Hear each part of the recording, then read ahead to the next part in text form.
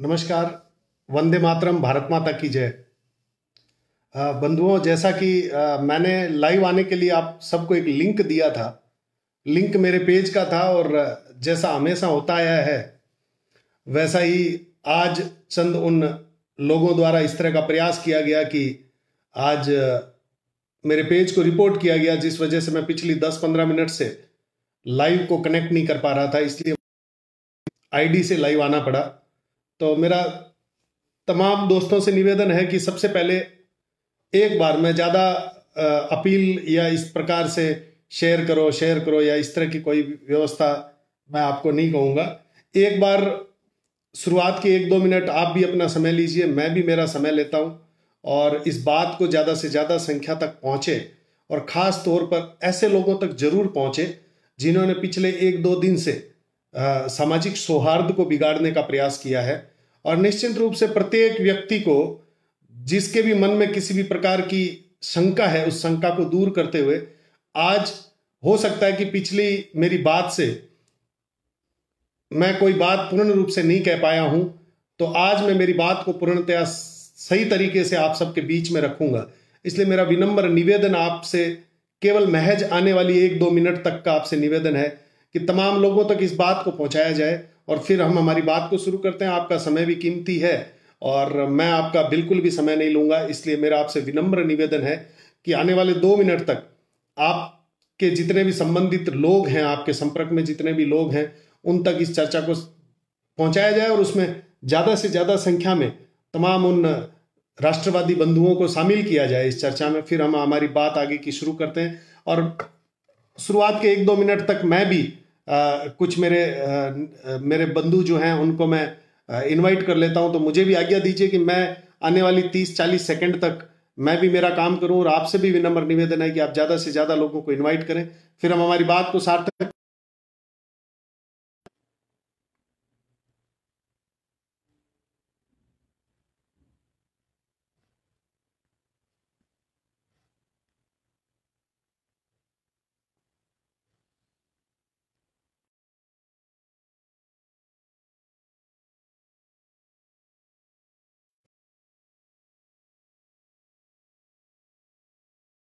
मैं इसलिए इसको शेयर करने का कह रहा हूँ क्योंकि जैसा कि पेज का लिंक दिया गया था तो हो सकता है कि जो लोग परिचित नहीं है इस आईडी से, वो पेज पर जाकर देख रहे होंगे कि लाइव आ रहा है कि नहीं आ रहा है। तो मेरा आपसे निवेदन है कि इसको थोड़ा सा शेयर कर दें ताकि सब लोगों तक हमारी बात पहुँचे और फिर हम शुरू करेंगे क्योंकि बिल्कुल हरी यही हुआ है कि पेज को रिपोर्ट किया गया है। मास रिपोर्टिंग जब होती है तो मास रिपोर्टिंग के बाद में इस तरह की समस्याएँ आती है। तो प्रयास यही रहेगा कि हम जैसा कि आप देख रहे होंगे, बीच में अभी चर्चा डिस्टर्ब हो रही है। तो उस डिस्टर्ब होने के पीछे भी हो रहा है कि शायद इस प्रोफ़ाइल को भी रिपोर्टिंग करने में लगे हुए हो। लेकिन कोई दिक्कत नहीं, मैं हम लोग बहुत शांति से आज की चर्चा आप सबके बीच में और तमाम उन लोगों के बीच में रखना चाहते हैं जिन्होंने पिछले दो तीन दिन में जो कहर ढा रखा है और जिस प्रकार की शंका तमाम भाइयों के अंदर पैदा करने का प्रयास उन लोगों द्वारा किया जा रहा है। इसलिए मैं तब तक मैं आप लोगों को जो चर्चा में जुड़ चुके हैं, उनको मैं रिसीव कर लेता हूँ। तब तक आप सब शेयर करिए। Sarwan Saraswat ji Pankaj Om Saraswat ji, one K plus बिल्कुल आप सबका सहयोग रहा तो निश्चित रूप से होगा। चेतन शर्मा जी राम राम सा प्रणाम, सीताराम सारस्वत जी राम राम सा, दीपक सारस्वत जी, नमस्कार, मनोज सारस्वत जी जय परशुराम जी भंवर, भंवरलाल सारस्वत जी, हमारे प्रेरक, आरक्षण विरोधी, बहुत बहुत धन्यवाद आपका, और ठाकरानी हिम्मत जी, बिल्कुल आपका बहुत बहुत धन्यवाद, और राम राम सा, सीताराम जी, मुझे भी आप सब पे गर्व है, और कहीं ना कहीं आप सबके स्नेह ने ही इतनी ताकत और संबल दिया है। कि मैं ऐसे ऐसे लोगों को जो मौका परस्त हैं, जो अवसरवादी लोग हैं, जिन्होंने इस राजनीतिक गलियारों से कैसे भी करके सत्ता हथियाई है और सत्ता हथियाने के बाद में उस सत्ता का दुरुपयोग कर रहे हैं, ऐसे तमाम लोगों को जवाब देने के लिए जो ऊर्जा मेरे अंदर आती है, वो आप सबके स्नेह से आती है। तो मैं जब तक सब लोगों को रिसीव कर लूँ, तब तक मेरा तमाम से निवेदन रहेगा कि शेयर करते जाएँ। राजेश सारस्वत जी बहुत बहुत धन्यवाद आपका। श्रवण धामू जी बहुत बहुत धन्यवाद।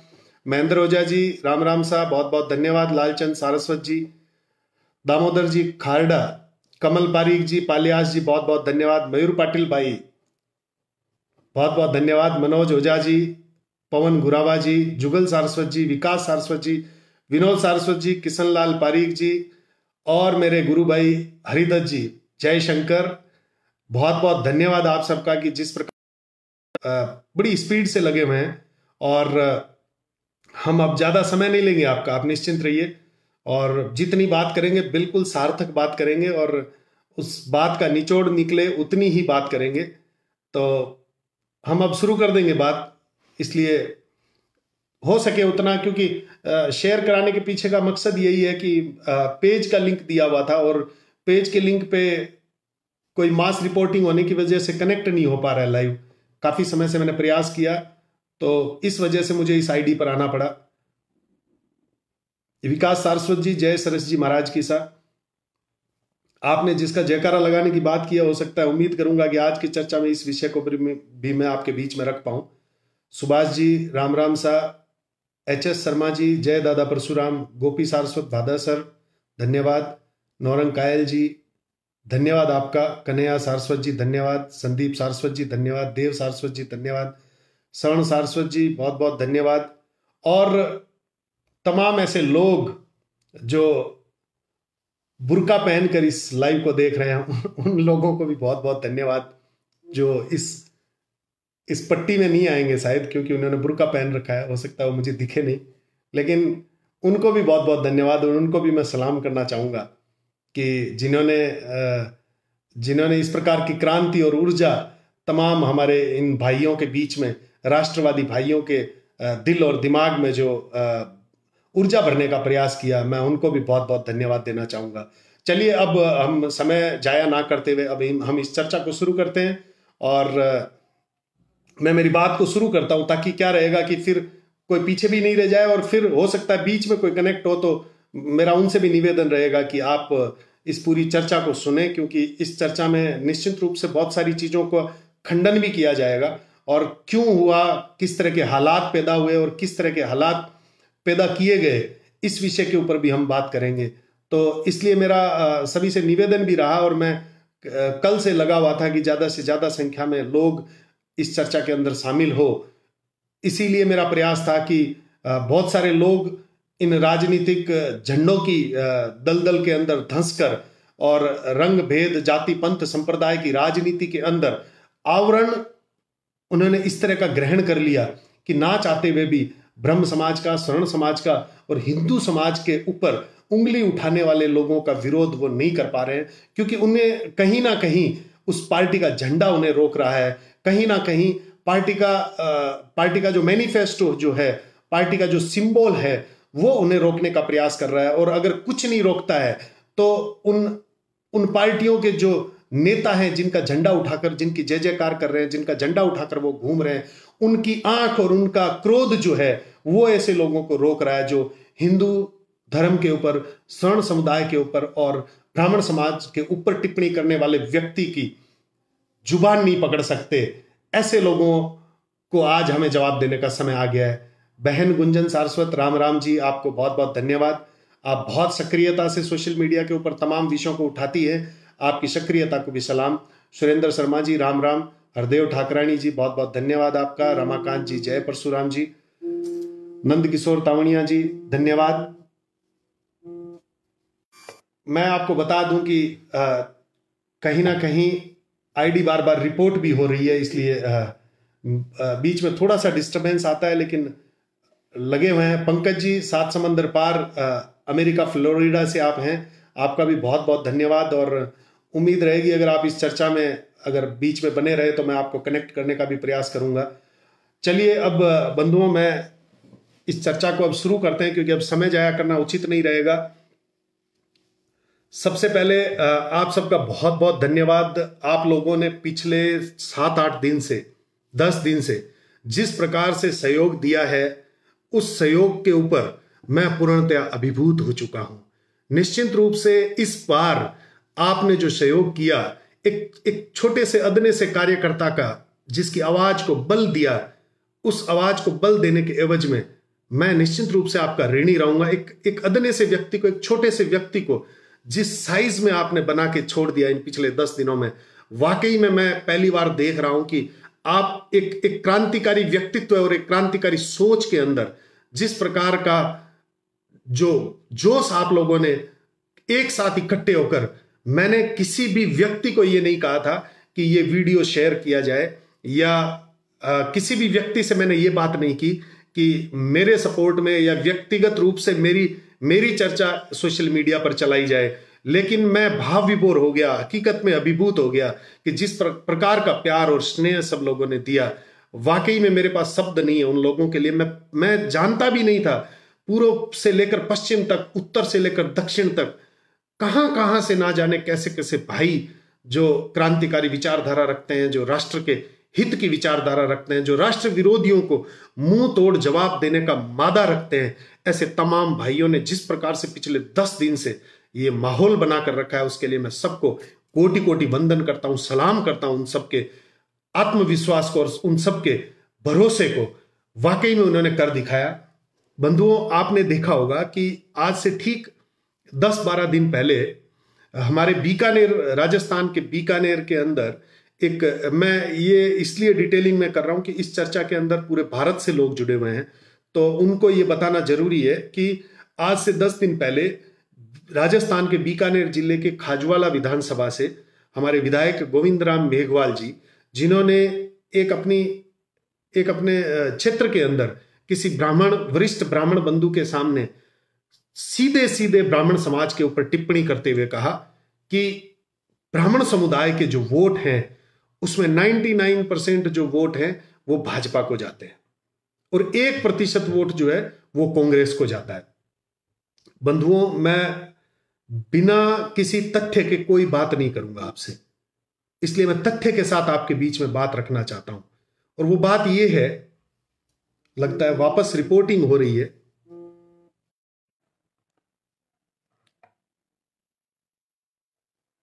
ये जो एक दो सेकंड का बीच में जो डिस्टरबेंस आ रहा है, ये ये कुछ रिपोर्टिंग हो रही है, लेकिन आप थोड़ा सा, मेरा निवेदन है कि थोड़ा सा इसको शेयरिंग में या कहीं भी हेल्प करिए ताकि हम हमारी बात को पूर्णतः आपके बीच में रख सकें, क्योंकि अगर बात नहीं रख पाए तो फिर इस बात का कोई औचित्य औचित्य नहीं रहेगा।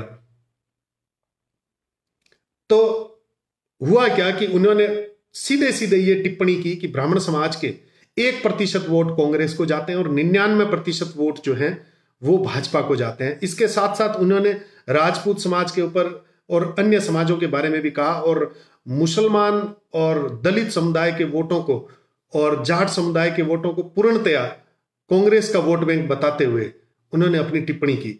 उसके ठीक दो दिन बाद मुझे ज़्यादा कोई आपत्ति नहीं हुई, मुझे आपत्ति इस बात की हुई कि ब्राह्मण समाज के ऊपर माननीय विधायक जी आए दिन ऐसी टिप्पणियाँ करते हैं।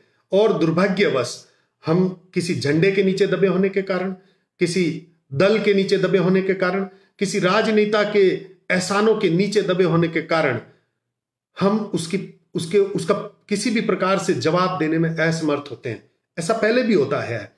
आप जब देखेंगे कि उन्होंने, इन्हीं विधायक जी ने आज से तीन साल पहले करणी माता के ऊपर अभद्र टिप्पणी की, भगवान श्री राम पे अभद्र टिप्पणी की, बजरंग बली हनुमान जी के ऊपर इन्होंने अभद्र टिप्पणी की और भगवान श्री कृष्ण के ऊपर भी इन्होंने अभद्र टिप्पणी की। और ऐसे ऐसे चुटकुलों के माध्यम से उन्होंने हिंदू देवी देवताओं की मज़ाक उड़ाने का प्रयास किया कि भगवान श्री कृष्ण की सोलह हज़ार बीवियाँ थी।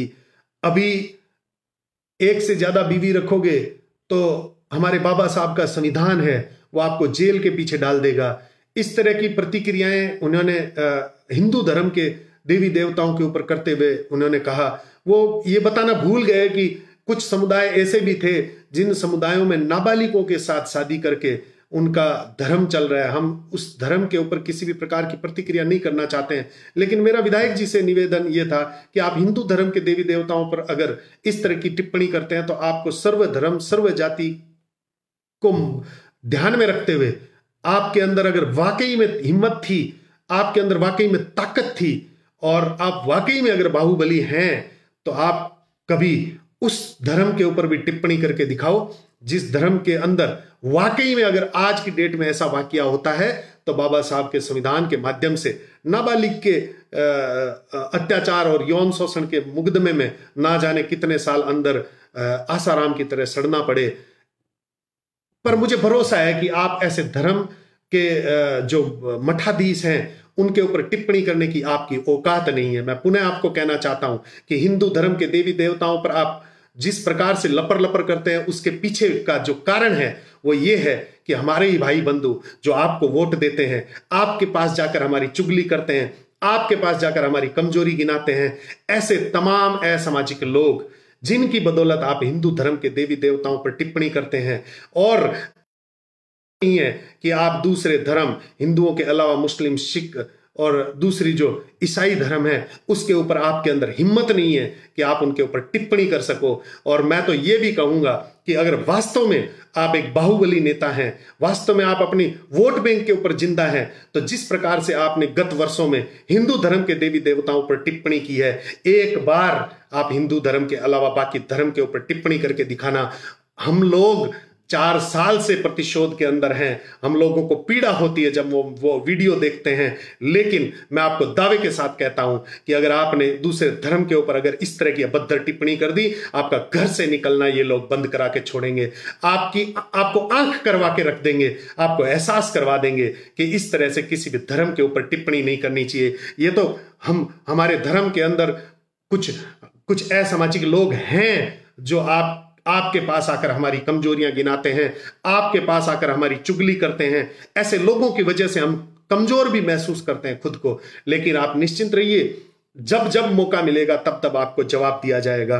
तो उनको एक, एक सार्वजनिक एक आयोजन के अंदर मैंने मेरे लहजे से मैं पुनः इस बात को ज़ोर देते हुए कहना चाहता हूँ तमाम भाइयों से मैं निवेदन करूँगा कि इस बात को जो अब मैं बात करने जा रहा हूँ ये बात निश्चित रूप से उन लोगों तक ज़रूर पहुंचनी चाहिए जो पिछले दो तीन दिन से छोटा छोटा कटसी सा ये जो तथाकथित जो समाज सेवी और तथाकथित तो जो झंडाधारी, जो जोड़ा छाप नेता हैं, जो लाइव आकर या सोशल मीडिया के ऊपर किसी के नाम को दुर्भावनावश अलग प्रकार से संबोधित करने वाले ऐसे जातिगत आरक्षण के पक्षधर नेताओं के कीड़ों को जवाब पहुँचना चाहिए, इसलिए मैं बार बार आपको लाइव शेयर करने के लिए कह रहा हूँ, बंधुओं, मैं किसी का नाम लिए बिना बता देना चाहता हूँ आपको कि उस वीडियो के अंदर मैंने किसी भी समुदाय को, किसी भी जाति को इंगित नहीं किया था। अगर आप लोगों के पास वीडियो नहीं है तो आप वीडियो को मंगवाइए, मेरे से मंगवाइए, वीडियो को शांति से सुनिए।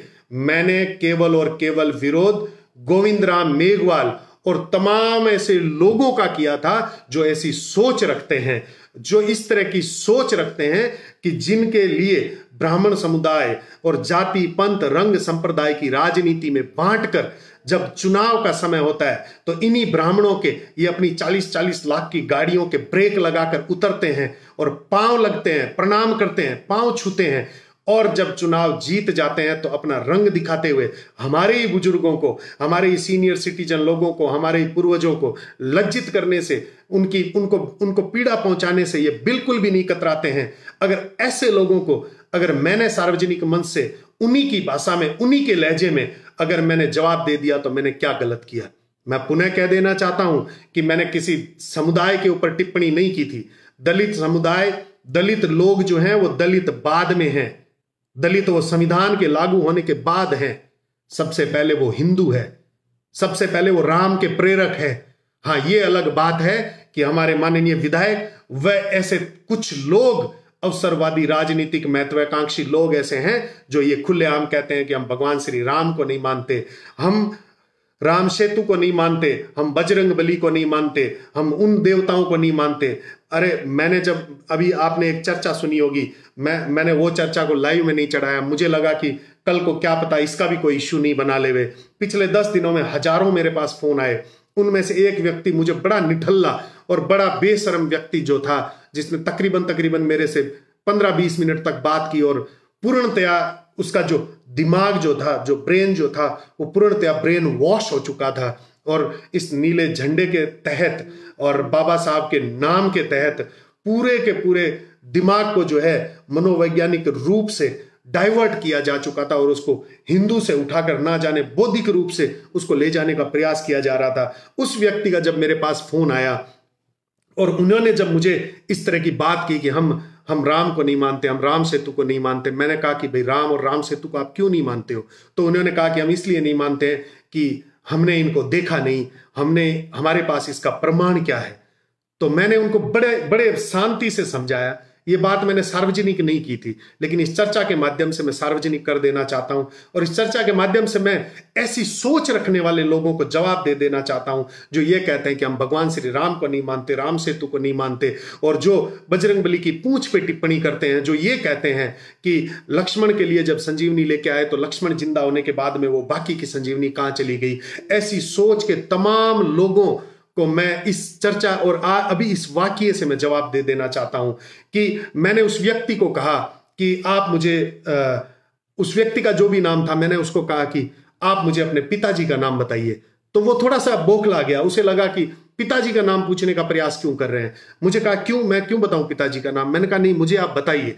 जब आप पिताजी का नाम बताएँगे तो मैं तुरंत आपको इस बात का जवाब दूँगा। उन्होंने कहा मेरे पिताजी का नाम सुगना राम है।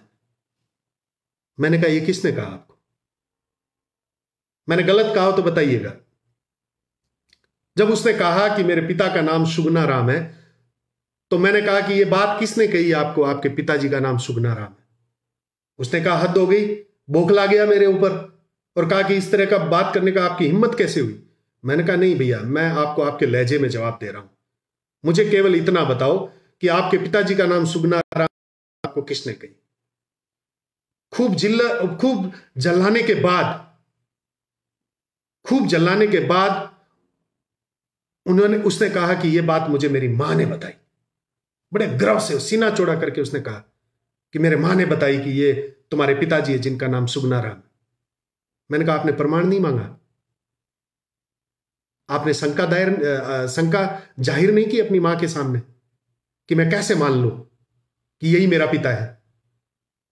वो फिर चिड़ा और बिल्कुल हरी मैं कह देना चाहता हूँ कि चर्चा रिपोर्ट हो रही है बार बार मैं बार बार आपको नहीं कहूँगा शेयर के लिए, लेकिन हो सके उतना प्रयास करिए कि ये रिपोर्ट आज वाली जो बात है, वो पहुंचनी चाहिए उन तमाम लोगों तक। तो मैंने कहा कि आपने अपनी माता जी के सामने इस बात का विरोध ज़ाहिर नहीं किया कि मेरे पिता का नाम सुगना राम है, इस बात का प्रमाण क्या है? बोखला गया वो। और बोखलाते बोखलाते उसने कहने लगा, अरे, आप तो मोदी समर्थक हो, आप तो भारतीय जनता पार्टी के चमचे हो, आप तो भारतीय जनता पार्टी के नेताओं के चमचे हो, आपकी उनके साथ फ़ोटो है. मैंने कहा, भैया, एक मिनट, बात सिद्धांतिक चल रही है तो सिद्धांत के ऊपर करो। आपने राम के होने का और ना होने के प्रमाण के ऊपर बात की है। मुझे इस बात का जवाब दीजिए कि आपके पिता का नाम सुगना राम है। इस बात का प्रमाण आपने अपनी माता से मांगा या नहीं मांगा? तो उसे थक हार कर उसने कहा कि, नहीं, मैंने नहीं मांगा। मैंने कहा, आपने अपनी माता से इसलिए अपने पिता का प्रमाण नहीं मांगा क्योंकि आपको अपनी माँ के ऊपर भरोसा था। आपकी माँ के ऊपर आपकी आस्था थी, श्रद्धा और विश्वास, ये तीनों चीज़ें आपकी माँ के ऊपर होने की वजह से आपकी माँ ने जिस तरफ़ उंगली की, आपने उसी को अपना पिता मान लिया। तो धर्म के स्तर पर जुड़े हुए हमारे जो देवता जो हैं देवी देवता जो हैं, शास्त्रों के हिसाब से अगर उनकी कोई पटकथा जो है, उस पटकथा को मानकर हम उनका अनुसरण करते हैं तो भैया आपको यह जलन क्यों हो रही है? आपको क्यों राम सेतु का प्रमाण चाहिए? क्यों बजरंग बली की पूंछ पे आपकी टिप्पणी हो रही है? शर्म नहीं आती आपको? धर्म के नाम पर आप पिछले सत्तर वर्षों से, आज़ादी के बाद की हम बात करें तो पिछले सत्तर वर्षों से, धर्म के नाम पर आप इस देश में रह रहे हो, जाति के नाम पर आप खा रहे हो, लेकिन बेजती करने के लिए, बदनामी करने के लिए आपको भगवान श्री राम और बजरंग बली मिले। किसी दिन आपने मोहम्मद पे आवाज़ नहीं उठाई। या इशू के बारे में आपने कुछ नहीं कहा। मैं बिल्कुल भी इन लोगों पर टिप्पणी नहीं करना चाहूँगा। कि इनके, इनकी जीवन शैली क्या थी, इन्होंने क्या किया या क्या नहीं किया। लेकिन आपकी औकात नहीं है कि आप यीशु के बारे में कोई सवाल उठा सकें। आपके अंदर इतनी हिम्मत नहीं है कि आप मोहम्मद पैगंबर के बारे में कुछ कह सकें। क्योंकि आप तो उनके उनके अंदर ही तो घुसे हुए हैं। अब जो विचारधारा जो आपकी है, वो उनके अंदर से तो होते हुए जाती है। जैसा मैंने पहले कहा था कि चंद्रशेखर रावण जो चंद्रशेखर और जिसने चंद्रशेखर के बाद में जो आज़ाद शब्द का इस्तेमाल किया, वो भूल गया कि आज़ाद ब्राह्मण समुदाय की एक जाति है। लेकिन छूट है। ऐसे अवसरवादी खिरातियों को छूट है। मैं तमाम दलित भाइयों को जो इस चर्चा में भी जुड़े हुए होंगे या इस चर्चा के खत्म होने के बाद अगर इस वीडियो को देखेंगे तो मैं तमाम उन दलित भाइयों को भी कह देना चाहता हूँ कि भाइयों, आपके नाम की राजनीति करके आपके मुखोटे गिनाकर, आपके ही हक की सीट से लड़कर ये अवसरवादी खिराती नेता आपके नाम का दुरुपयोग करते हैं और इस बात की पीड़ा है। आपके इनाम का दुरुपयोग करते हैं। मैं आपको बता देना चाहता हूँ कि किस तरह से, किस तरह से आपके नाम का दुरुपयोग करते हैं। आप कल्पना करिए कि मेरा विरोध जो था, वो किस बात को लेकर मेरा विरोध था? मेरा विरोध केवल और केवल इस बात को लेकर था कि अगर कोई व्यक्ति सक्षम हो गया है तो अब भी वो दलित बनकर जाति कार्ड दिखाकर अपने हक, अपने भाइयों के हक को क्यों मार रहा है? मेरा केवल और केवल यही विरोध था कि जो जाति का नाम दिखाकर 40 40 50 50 लाख की गाड़ियों में घूम रहे हैं एक एक दो दो करोड़ के बंगलों में रह रहे हैं, जिनके घर परिवार के सदस्य विदेशों में रह रहे हैं। ऐसे तमाम लोग अब सामने से आकर ये क्यों नहीं कहते कि भाई, अब हमें आरक्षण की ज़रूरत नहीं है? क्यों सरकार को नहीं कहते? क्यों राष्ट्रपति जी को यह पत्र नहीं लिखते? क्यों ये प्रधानमंत्री जी को नहीं कहते कि अब हम सक्षम हो गए हैं? हमें किसी प्रकार से अभी आरक्षण की ज़रूरत नहीं है। तो उस स्थिति के अंदर होगा क्या? ब्राह्मण को नहीं चाहिए आरक्षण। ब्राह्मण ने कभी भी आरक्षण की मांग नहीं की है। लेकिन उस स्थिति में उन्हीं के नीचे एक दबा, कुचला और शोषित मेरा दलित भाई, जो सरकारी सुविधा के इंतज़ार में पिछले सत्तर साल से इंतज़ार कर रहा है, जिस तक अभी तक कोई भी प्रकार की सुविधा नहीं पहुँची है। अगर ये नहीं खाएगा तो उस तक सुविधा पहुंचेगी ना। लेकिन अगर यही सारी सुविधाओं को अपने अलमारी में इकट्ठी करके रख लेगा तो दलित भाई तक नहीं पहुंचेगी। और दलित भाई तक नहीं पहुंचेगी मतलब दलित समुदाय सक्षम नहीं होगा, और जब तक दलित समुदाय सक्षम नहीं होगा, तब तक ब्राह्मण हो या राजपूत हो या बनिया हो, कोई भी भारतीय हो, आर्थिक रूप से अगर वो कमज़ोर है तो उस तक किसी भी प्रकार की मदद नहीं पहुंचेगी। अगर पहुँचती तो सत्तर साल बाद भी ये स्थिति नहीं रहती। सत्तर साल बाद भी ये हालात नहीं रहते कि दलित जो गरीब था, वो और ज़्यादा गरीब हो गया और जो अमीर था, वो तो चालीस लाख की गाड़ियों में आपके सामने घूम ही रहा है। क्या हम ऐसे लोगों को भी दुत्कारने का कार्य नहीं कर सकते कि जो सक्षम हो चुका है, जिसने सरकारी व्यवस्था का फ़ायदा ले लिया है, ऐसे लोग अब सामने से चलकर आए। और राष्ट्रपति जी और प्रधानमंत्री जी को यह कहें कि अब हम सक्षम हैं, अब हम दबे कुचले या दलित शोषित पीड़ित नहीं है। इसलिए अब हम सामान्य में हैं, हम पर क्रीमी लेयर सिस्टम को लागू कर दिया जाए। दुर्भाग्य से मैं आपको बता देना चाहता हूँ कि क्रीमी लेयर को ये लोग लागू करवाने में पक्षधर नहीं है। ये चाहते हैं कि क्रीमी लेयर को अभी राजनीति करते हैं ओबीसी के नाम से, जाट के नाम से। कुछ मेरे जाट भाई भी इस चर्चा में जुड़े हुए होंगे। मैं उनको भी बता देना चाहता हूँ कि आपके नाम की राजनीति करते हैं ये। आपको अपने पक्ष में लेते हैं। लेकिन क्या आपको पता है कि आपको इन्होंने क्रीमी लेयर के अंदर बाँध रखा है? मैं जाट भाइयों से कह देना चाहता हूँ और तमाम उन ओबीसी में जितने भी जातियाँ और जितने मेरे भाई आते हैं, उन सबको कह देना चाहता हूँ कि इन्होंने ओबीसी को क्रीमी लेयर के आवरण में बाँध रखा है। क्या आपको पता है? अगर नहीं पता है तो पता करिए कि आपकी एक लिमिट होने के बाद में आपको आरक्षण से बाहर निकाल दिया जाएगा। लेकिन ये करोड़पति भी बन जाएँगे तो भी अपना जाति कार्ड दिखाएँगे और वही एक डेढ़ रुपए किलो वाली गेहूँ लेके आएँगे। अगर ये बात मैंने सार्वजनिक मंच से एक व्यक्ति को, जो वहाँ पे फॉर्च्यूनर में घूम रहा था, उसको मैंने कह दी तो भैया, भीमसेना वाले, आपको मिर्ची क्यों लगी? और अगर आपको मिर्ची लगी और आपने जो वो हरकत की है, आपको क्या लगता है? उस हरकत का जवाब नहीं मिलेगा आपको। अरे बड़े भोले हैं भाई आप, जो इस तरह के ये लेटर पेड के ऊपर इस तरह की बातें लिख के और किसी व्यवस्था और किसी वर्ग के लोगों को डराते हैं। ये संपत सारस्वत डरने वालों में से नहीं है। तैयारी कर लो बेटा, क्योंकि तुम्हारी जो है वो पर्ची निकल चुकी है।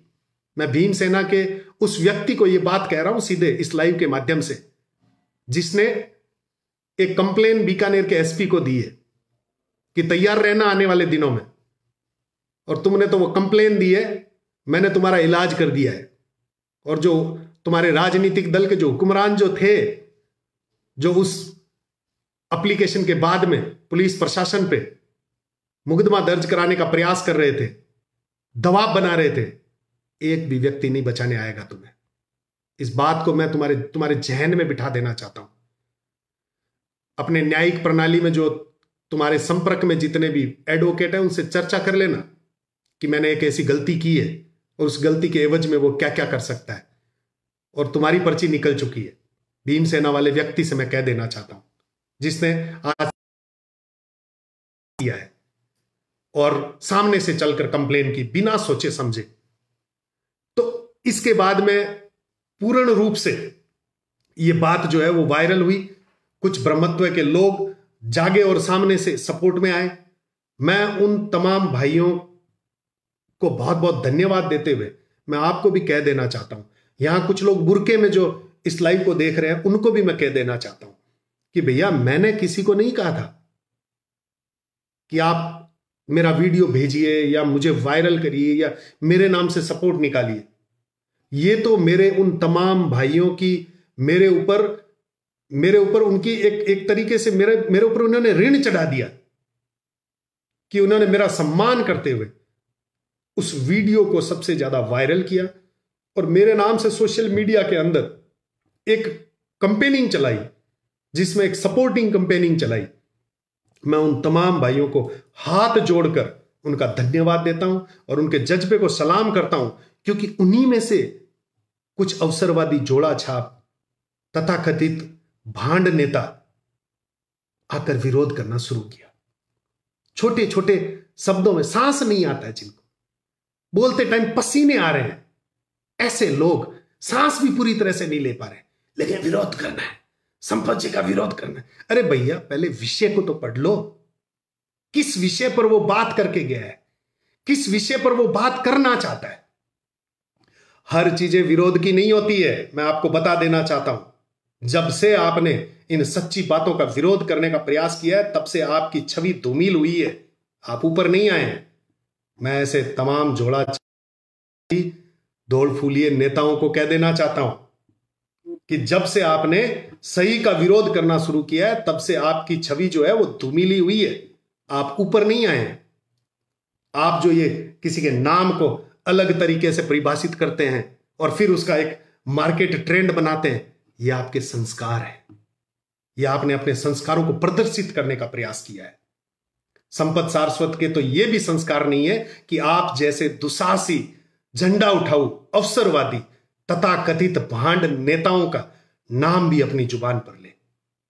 मैं मेरी ज़ुबान को भी गंदी नहीं करना चाहता, क्योंकि ऐसे लोग जो अपने समाज के लिए नहीं लड़ सकते, जो अपने धर्म के लिए नहीं लड़ सकते, जो अपने आत्मसम्मान के लिए नहीं लड़ सकते दुत्कारता हूँ मैं ऐसे लोगों पर दुत्कारता हूँ ऐसे लोगों की नेतागिरी पर, धिक्कार है तुम्हारी नेतागिरी पर और फिर मुँह उठाकर आ जाते हो विरोध करने के लिए, क्योंकि सामने व्यक्ति है। अरे भैया, व्यक्ति का विरोध करो ना, निजी विरोध करो मेरा। पर इस व्यवस्था का विरोध क्यों कर रहे हो? क्योंकि ये व्यवस्था मैंने सही तरीके से उठाई है। और इस व्यवस्था के ऊपर निश्चित रूप से लगाम लगानी चाहिए। और इस बात का एहसास अगर आम व्यक्ति नहीं कराएगा तो कब कराएगा?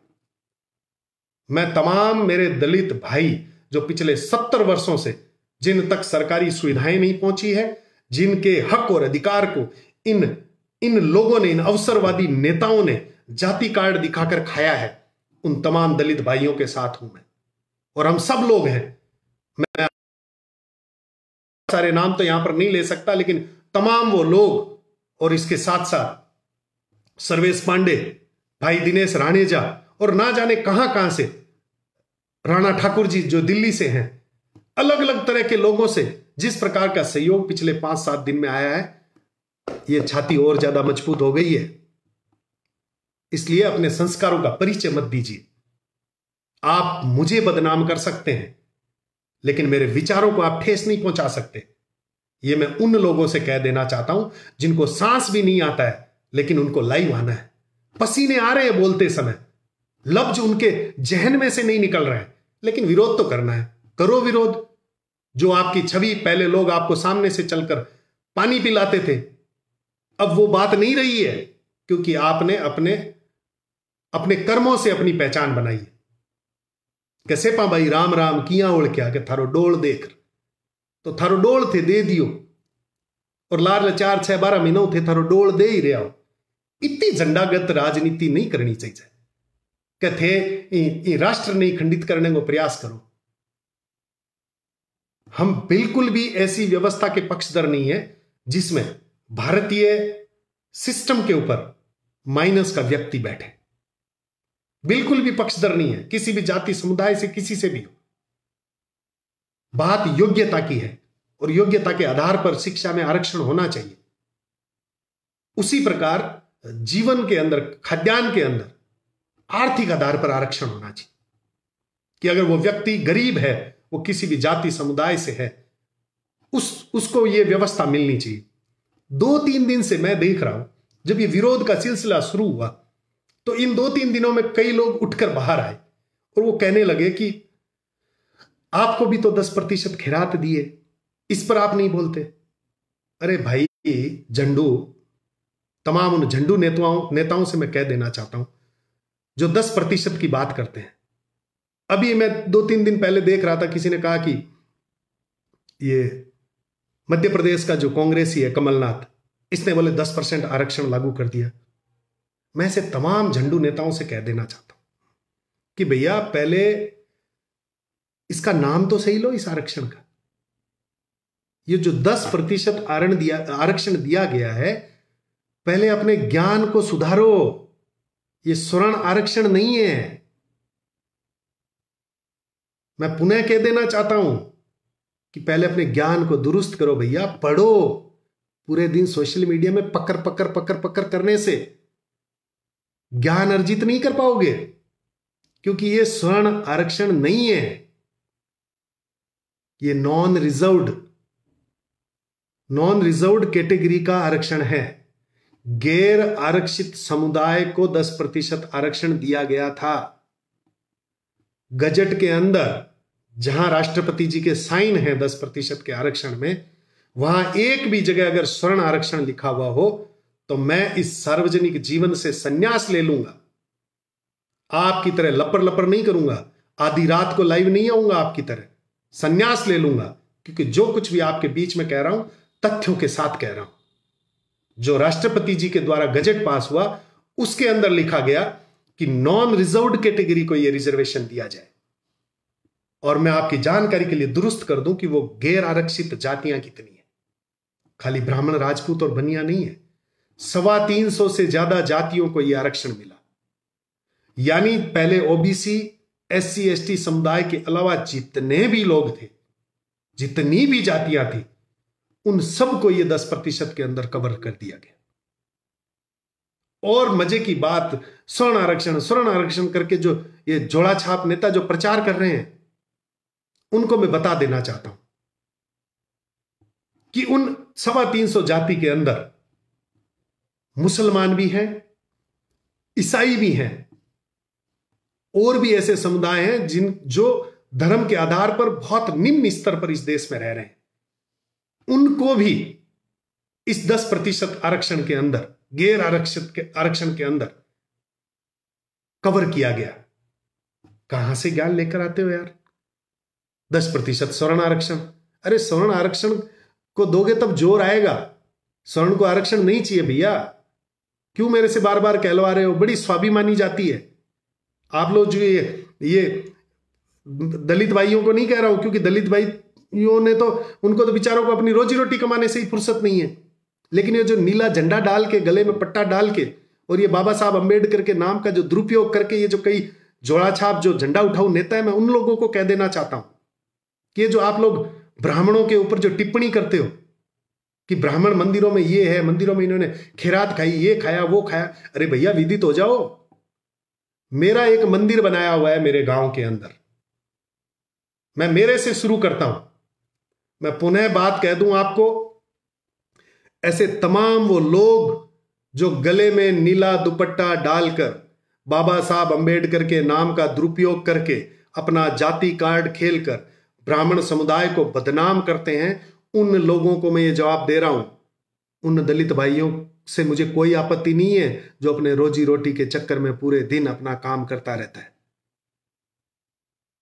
उनके अलावा जो अवसरवादी लोग हैं, जो इन राजनीतिक दलों, राजनीतिक हुक्मरानों के बारे में पकड़ पकड़ करने की, करके रोटियाँ सेकते हैं अपनी, उन लोगों को मैं कह देना चाहता हूँ।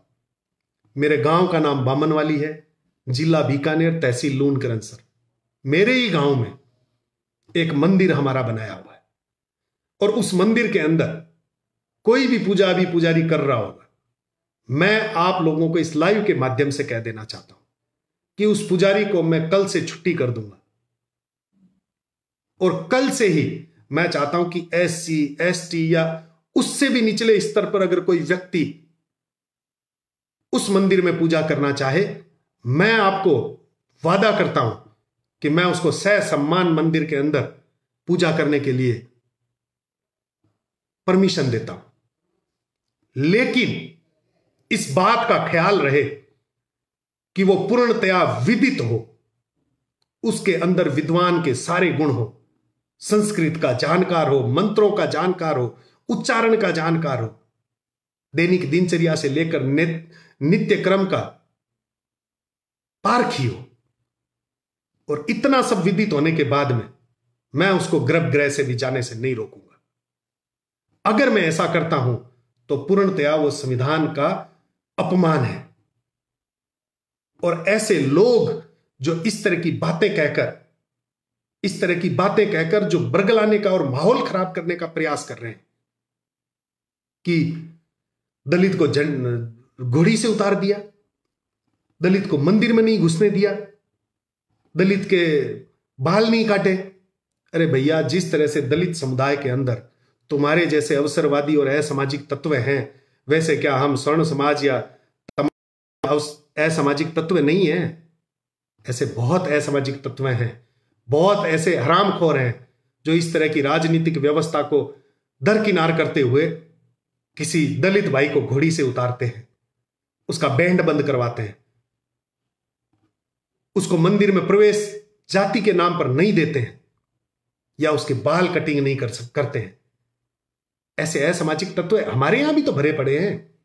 आपके यहाँ जो नीले रंग का दुरुपयोग करके बाबा साहब का जो नाम का दुरुपयोग करके जो असामाजिक तत्व पैदा हुए हैं तो क्या हमारे में सारे नर थोड़े ही हैं?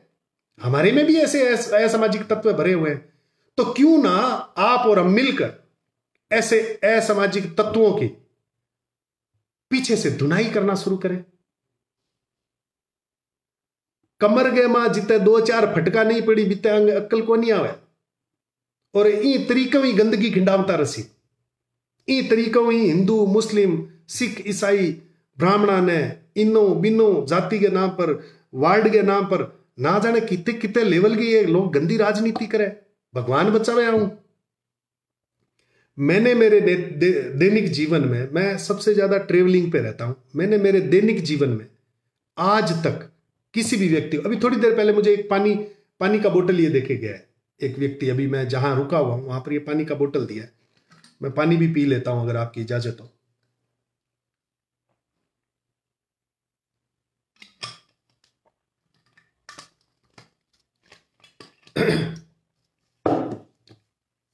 आप विश्वास नहीं करेंगे कि ये पानी का जो बोतल देखे गया, मैंने उससे ये नहीं पूछा कि भाई तू किस जाति से?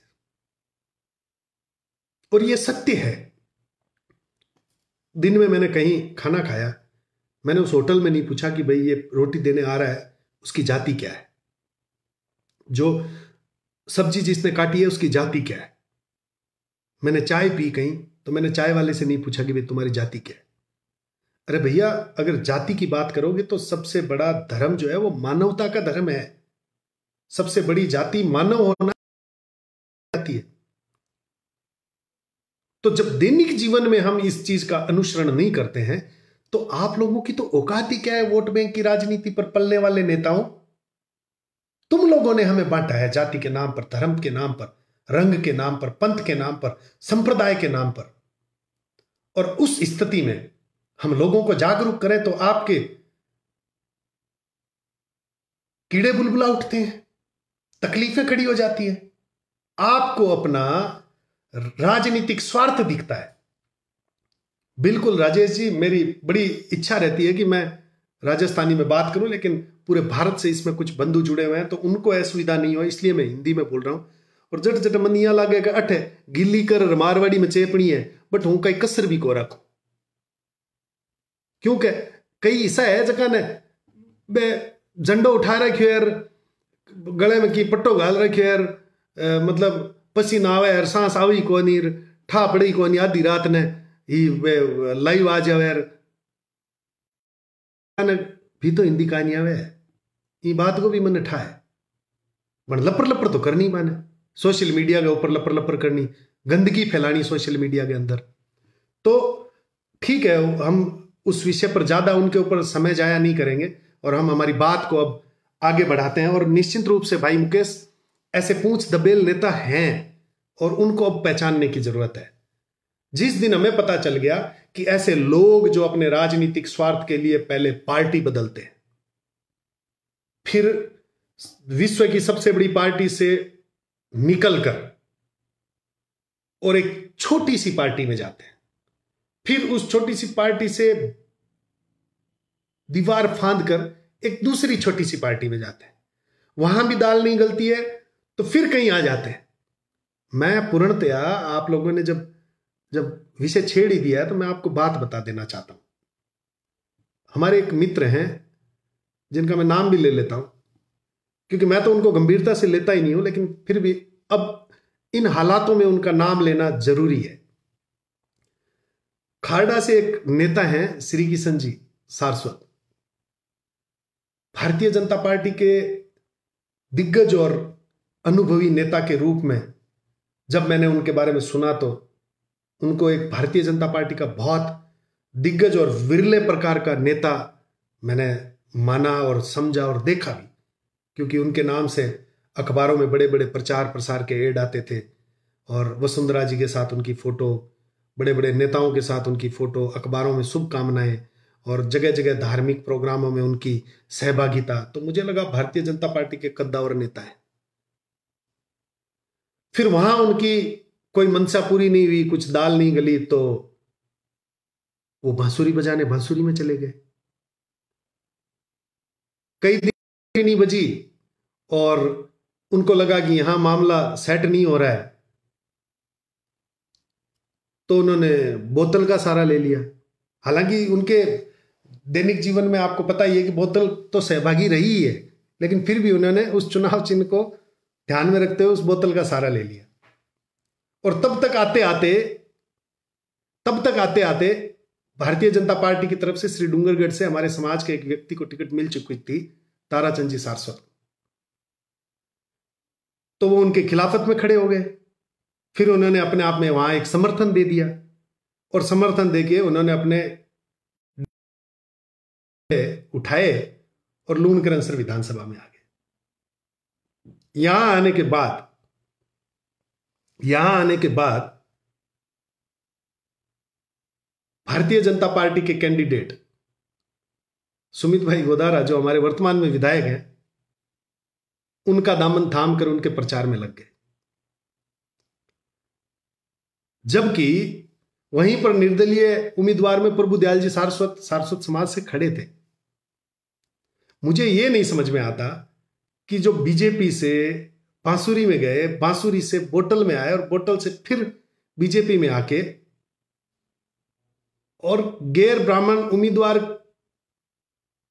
का पक्ष लेते हुए अपनी समाज के व्यक्ति के विरोध में खड़े हुए, ऐसे लोग समाज पर ज्ञान पेलते हैं।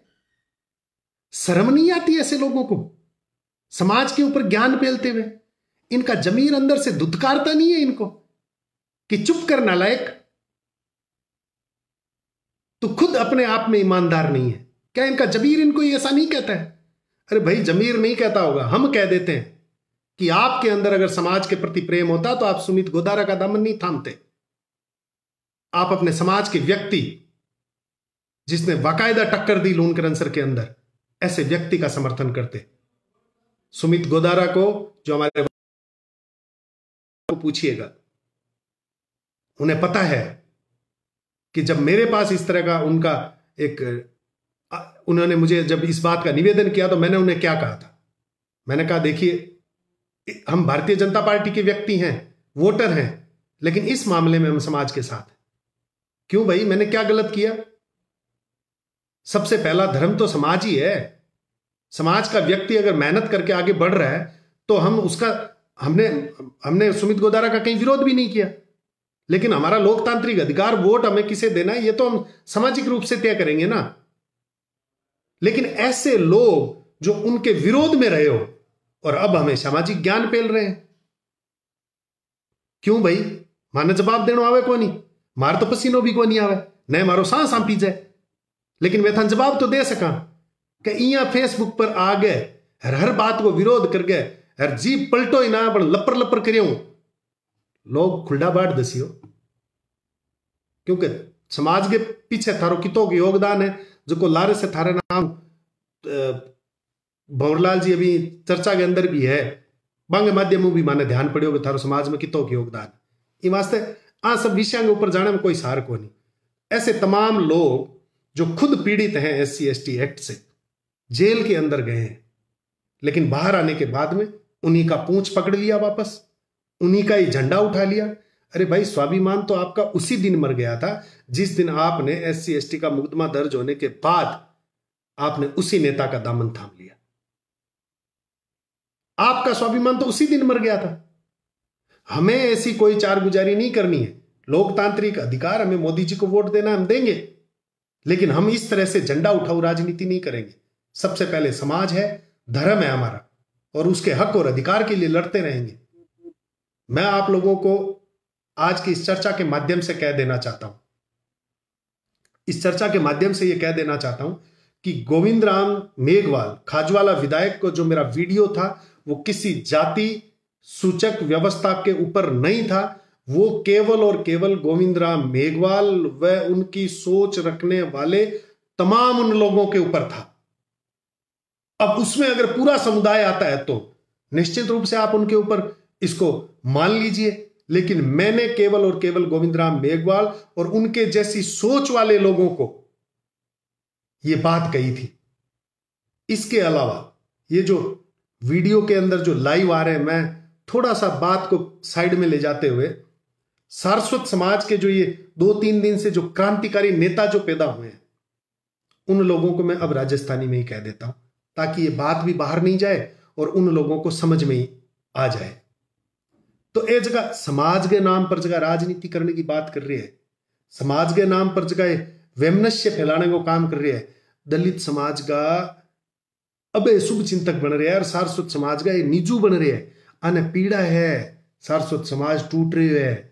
सारस्वत समाज ने दो भागा में बांट दियो। इन टाइप की पीड़ा है आने।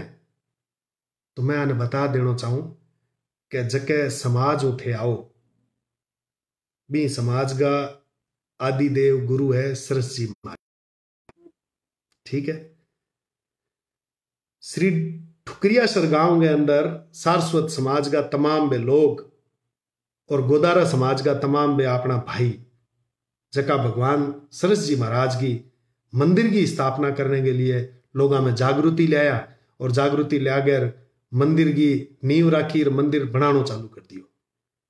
फुल स्पीड वो मंदिर बन रहे हो और बी स्पीड के अंदर आज वो पाँच चार दिन पहला एक हरेडो सरपंच जके बीस दिन महीनों भर पहला इक्यावन हज़ार रुपया भी दिया ही मंदिर के पेटे, क्योंकि बी टाइम वो सरपंच हो।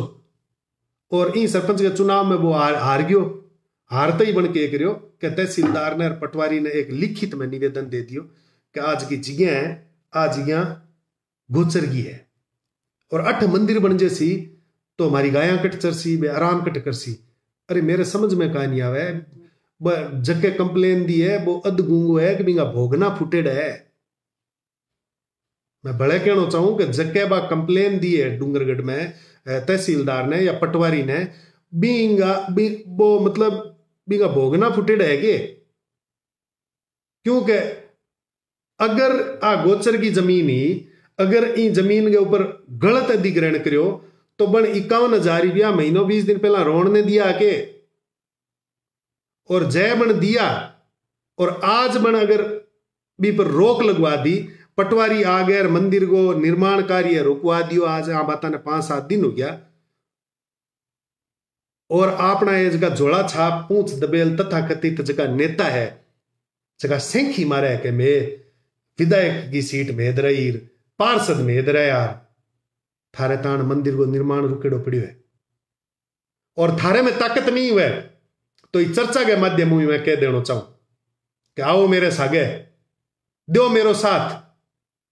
और मैं भी कंप्लेन करनी है चाहे बूतिया बंद न करा दिया तो। थे मन बढ़ ना दिया पाछो बीकानेर में।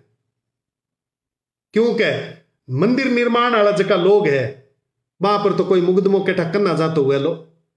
पहली मुकदमो ही सरपंच पर उसी के अन आपकी जानकारी के अंदर कुछ लोगों ने जान बूझ गए और ज़मीन को अधिग्रहण करवायो। और जके लोग अधिग्रहण करियो बा लोगों कने बाने लोगों ने प्रेरित करया कहते मंदिर बनाओ। तो बा लोग क्यों भाई मार कने रिपिया को नहीं जना इक्यावन हज़ार रुपया आपके कन्नू चलाया कि ए लियो मेरे कनु इक्यावन हज़ार, और बाकी थे सामाजिक चंदो कर लियो रिपिया थानू और दरा दू लेकिन थे ज़मीन पर कब्जो कर लियो ओ मुकदमो बने अब भी कंप्लेनर पर, और ओ मुकदमो कर श्याम मे। क्योंकि माने ठाया कि थारे तो नए आंटी में ज़ोर, और नए थारे में तान नए थारू हुए। क्योंकि थे मुकदमो के करो थे कई कंप्लेन ले निकलो लारू कोई छोटे मोटे नेता को फ़ोन आज थे क्यों हाँ साहब हाँ साहब, ठीक है साहब को जानी। मारे कोई साहब काम कौन करे, मारो कोई नेटवर्क काम ही कौन करे? माने तो सही गलत दो ही चीज़ दिखे। कि जके आदमी इक्यावन हज़ार रुपया महीने बीस दिन पहला दिया। बन आज कंप्लेन करी तो क्यों करी? और जय कंप्लेन करी तो मंदिर को निर्माण तो बाद में रुकसी। पहली कंप्लेन करनी हो माँ जसी।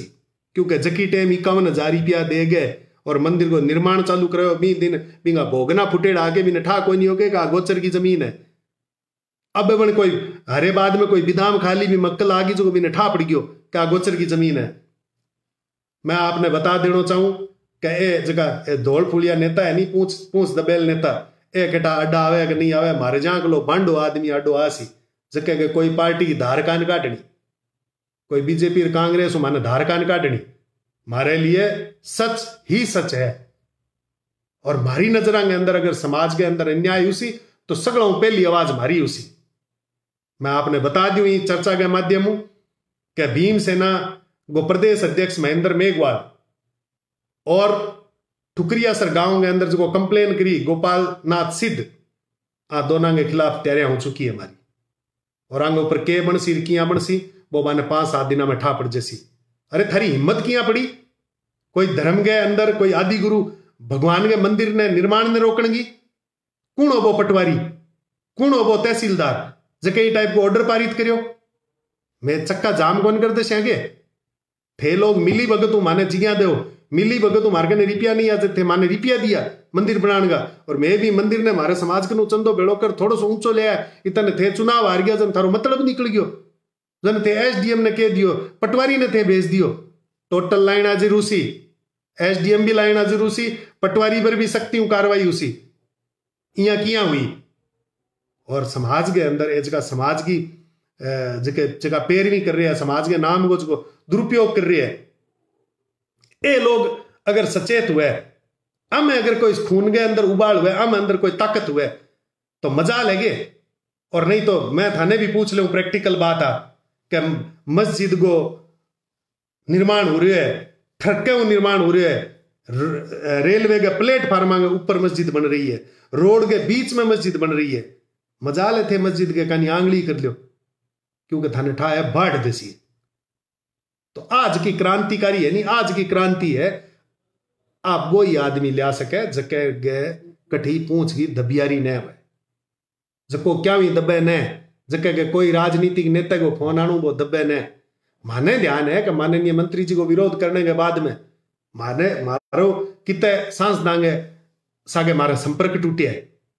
क्योंकि मारो बाने मंत्रियों के सागे संपर्क टूटे है, क्योंकि माने मैं बान आई बात की क्यों नहीं, मारे लिए समाज पे लिए इन वास्ते मैं समाज ने कौन छोड़ सका, और मैं वो विरोध बंद कौन करा?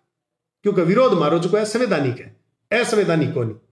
माननीय मंत्री जी लोकसभा के पवित्र मंदिर संसद हुआ बात के वे के मारे दलित समुदाय ने बैंक टाइम है जो अलग दो मारे जगह दलित समुदाय के लोग है माने ऋण है जो फ्री में दो आँख नो रुपया ना लियो पाछा रिकवरी को जो स्टैंडर्ड है बिने लूज करो क्यों भाई ओ के तरीको है एक कहानी तो आप बाबा साहब संविधान की बाबा साहब के लिखे संविधान की आप अनुसरण कर रहे हैं और भी बाबा साहब के संविधान के भी पेज नंबर अठारह पर कानून नंबर चौदह और चौदह ए बिंगो पानो चेप दियो आप क्योंकि समान नागरिक अधिकार को कानून है यूसीसी को है यूनिवर्सल सिविल कोड को कानून है।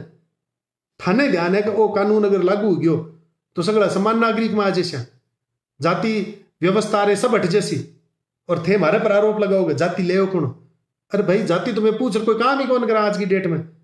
और थाने गीगली भावे अगर, क्योंकि जब भी जाति की बात आए, थे को बेटी पर ना हो हमारे घर तो गीगली तो जाडी है। क्योंकि गीगला तो हमारी गणाई बैठे है। किंगे किंगे लियार दिया में। ये वास्ते थारे कोई ई हिसाब को हिसाब किताब है कि भाई छोरी को और रोटी बेटी को व्यवहार, बेटी को व्यवहार करियो ही जाति हट सी तो मार्ग एक डांडो लगाड़ो एक लठ है। छोरी वाली जगह तो लठ दशा था ने हाँ रोटी के लिए हमारी कहीं ना कहानी कि ताण हुए तो बुला ले, अब की बार बीकाने रहूँ। कोई भी दलित के घरे भोजन के लिए बुला लिया ओ संपत सारस्वत मना कौन करे? ई टाइप की विचारधारा का मैं लोग हाँ। और माने ई तरीकों मतलब लज्जित करने को प्रयास कर रहे हैं। माने ही बात के वे जातिवाद कर रहे हो थे कर रहे हो, धर्म के नाम पर, जाति के नाम पर देश ने बांट दियो, जातिया ने बांट दी। मैं लोग इसो कोई प्रयास कौन करा कि जाति के नाम पर लोग बट जावे? मारो जो ब्राह्मणांगे हित में ओ जो ओ जो वीडियो आए हुए भविष्य में भी मारा कार्य जका है, बे कार्य दलित भाइया के पक्ष में भी रसी। मैं बा दलित भाइया ने भी जागरूक कर रहा जका सत्तर साल आज़ादी के बाद में भी अजू ताई कोई भी प्रकार को बने बने मदद कान मिली सरकारी। क्योंकि सरकारी ही वास्ते मदद कौन मिली, क्योंकि ऊपर है जगह लेर बैठे है। हूँ थाने एक छोटो सो उदाहरण दू चार भाई है और चार भाइया ने सौ रोटी कोई नुडार गए। बात ने गंभीरता सुनिया। कि चार भाई है और सौ रोटी बन कोई नुडार गए कि भाई आ, आ ए सौ नग है मिठाई का नग है ये थे एक मोटड़ भाई ने दे गया। मोटड़ भाई को धर्म बनाया कि आपके घर में पूछे कि भाई आपने कितना नग चाहिए जीजना बे कहते भाई नग तो बीस ही चाहिए लेकिन पच्चीस राख लियो। तो बोले कोई बात को नहीं पच्चीस नग आपने राख लियो और पच्चीस पच्चीस आपने दूजोड़े भाया ने दियो। अगले दिन भले भाई सो मिठाई का नग भले आ गया आ गया जना जकी, जके पेलोड़े परिवार पाँच नग एक्स्ट्रा रखा बे कसी बुलंद पाँच चीज़ तो ले ली, काली खाई। आज आपने काम करो, दस नगी रखो। दूसरे घर में गया, जना भी दस दस नगी दिया। पचास नग बच गया। जना कल घर में और पुगवा दिया। एक टाइम इसो आयो कि जके टाइम में कोई भी प्रकार जो सहयोग आ रही है, बन बा मना करती क्यों थे मान मत दो। मैं सक्षम और मारे इन ऊर्मा खत्म होगी ई सिस्टम ने लागू कराने का प्रयास कर रहे हैं और अभी जो सिस्टम है नी अभी जो सिस्टम के चल रहे हो बताऊँ कि सो लाडू ले यार मोटड़ भाई ने दियो बना आपकी लुगाई ने पूछो कितना लड्डू चाहिए आपने बोले बीस तो बोले बीस तो काट ले अस्सी अलमारी में दिया बे बोले बे आप काल खा लिया पीरू खा लिया नया खाए तो पड़िया रही सड़ जैसी लेकिन तीन भाइयों ने कौन देना है बोलो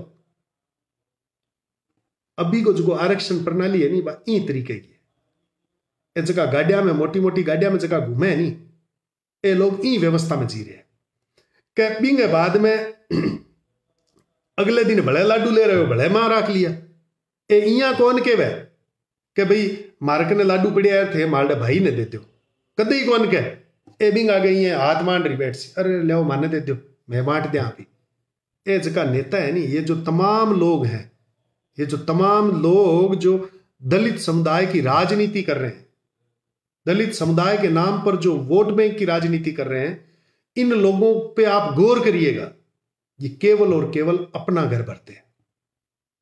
अगर इनको अपने भाइयों की चिंता होती, अपने दलित भाइयों की चिंता होती तो मैं आपको विश्वास के साथ कहता हूँ कि पिछले सत्तर वर्षों में भारत सरकार के फंड में से हज़ारों लाखों करोड़ रुपए का अनुदान जो है, वो दलित समुदाय के विकास के लिए निकला है। लेकिन लोगों तक नहीं पहुँचा है, क्योंकि ऐसे नेताओं ने अपने घर भर लिए। अब सजग होने की ज़रूरत है।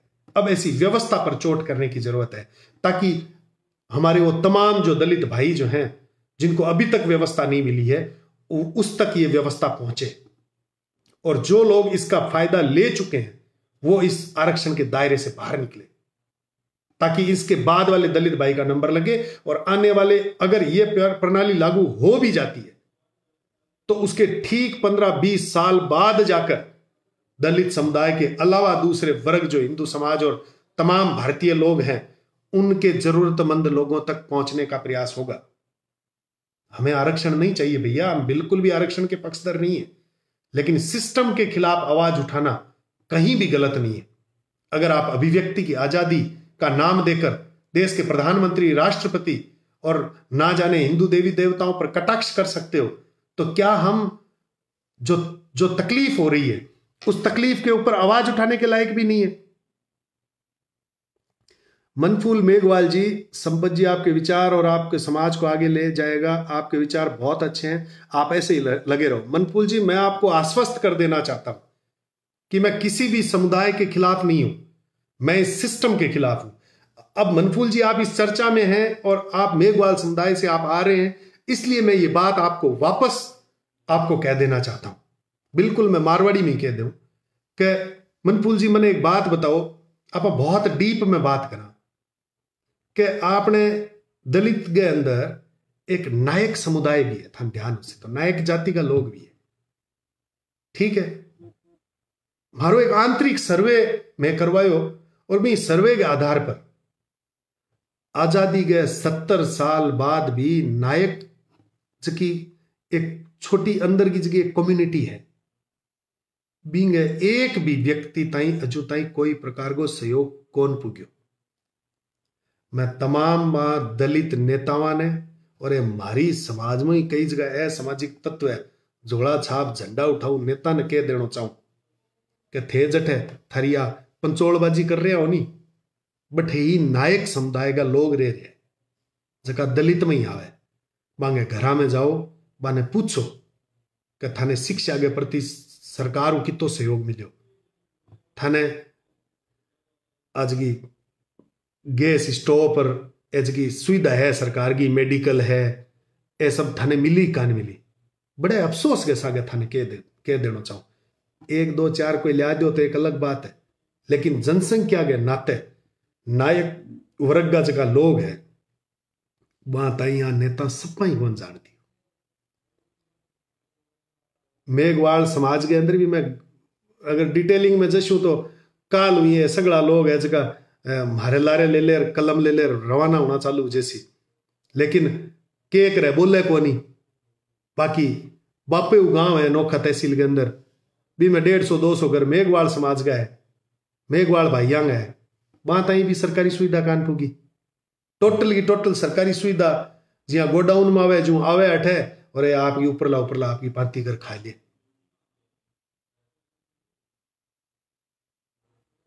भूपेंद्र बालेसर जी, भाई जी, मैं जोधपुर से हूँ और आपकी सारी बातों को सुनी और समझी। आपने बहुत अच्छी बातें बताई।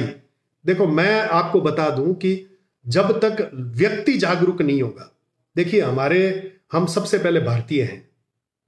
उसके बाद हम धर्म के आधार पर जुड़े हुए अगर हम लोग जागरूक नहीं होंगे, जब तक हम जागरूक नहीं होंगे, तब तक ये ऐसे अवसरवादी लोग जो जाति के नाम पर हमको बांटते हैं धर्म के नाम पर हमको बांटते हैं। हमारे देवी देवताओं के ऊपर अभद्र टिप्पणी करके जो तालियाँ बजवाने का काम करते हैं, ऐसे लोग, अवसरवादी, मौकाप्रस्त लोग, इसी तरह से हमारे और आपके हक और अधिकार को खा रहे होंगे।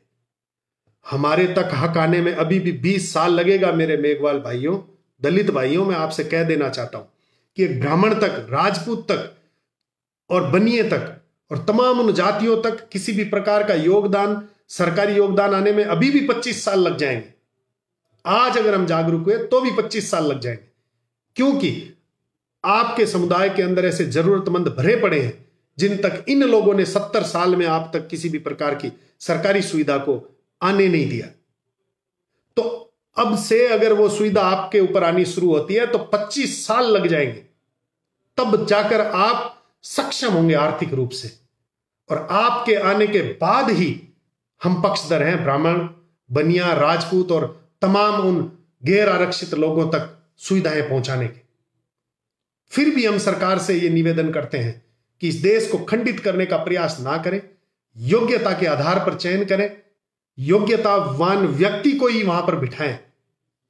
किसी ने मेला उठाया, किसी ने गटर साफ़ किया, किसी ने यह किया, इस आधार पर आप उसको ऊपर की कुर्सी पर बिठाकर इस राष्ट्र को खंडित करने का प्रयास कर रहे हो।